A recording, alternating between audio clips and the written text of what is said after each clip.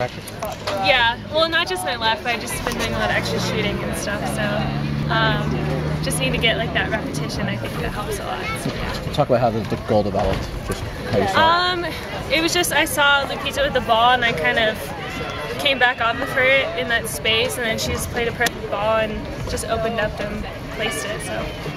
Can, can you talk about what this season has meant for you as you Um, as deve- ha- developing as a professional player?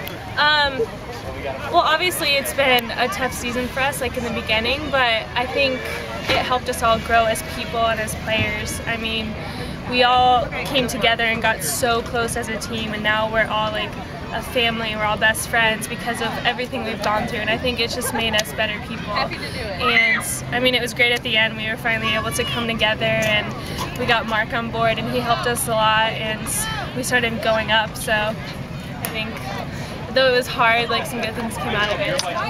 Talk about the mentality going forward, particularly uh, toward the end of the season. And I, and I know today, you know, kind of a glass half full, glass half empty kind of thing. You, you guys were off sides nine or ten times. On the one hand, you, you, you, don't, want that to happen. On the other hand, Yeah. it, it shows a sense of aggressiveness and a sense Right. of you know kind of wanting to pressure their back four more than maybe you had earlier in the year. Right. Well, I think now we're just looking to go forward. I mean, towards the end of the season, like I said before, like we started getting better and better, and I think now we just want to keep improving and keep having that upward movement. And so, like you said, we have been trying to get forward more, and we're trying to do new things and get more scoring opportunities and everything. So we're just trying to move up. So yeah.